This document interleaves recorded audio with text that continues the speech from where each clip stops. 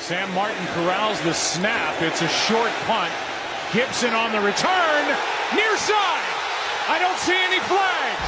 Gipson inside the 30. Hits the Jets.